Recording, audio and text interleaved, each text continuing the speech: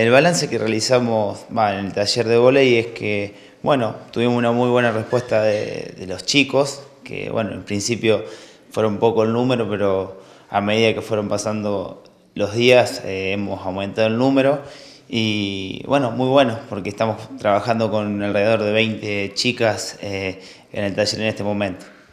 ¿Cómo han estado trabajando? ¿Cómo eh, presentaron la propuesta de este taller?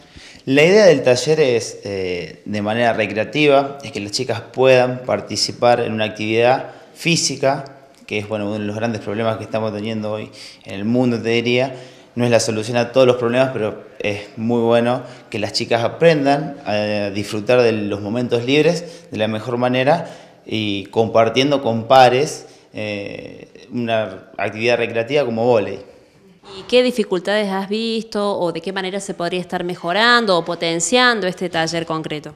Eh, mejorar, bueno, podría ser ahora a partir de, tener nuevos elementos y más posibilidad de aumentar el número de chicas con una buena difusión eh, y bueno, generando algunos proyectos, eh, puede ser con escuelas, algún otro barrio que tenga también vole o actividades recreativas que no tengan que ver específicamente con volei, sino con puede ser vida en la naturaleza.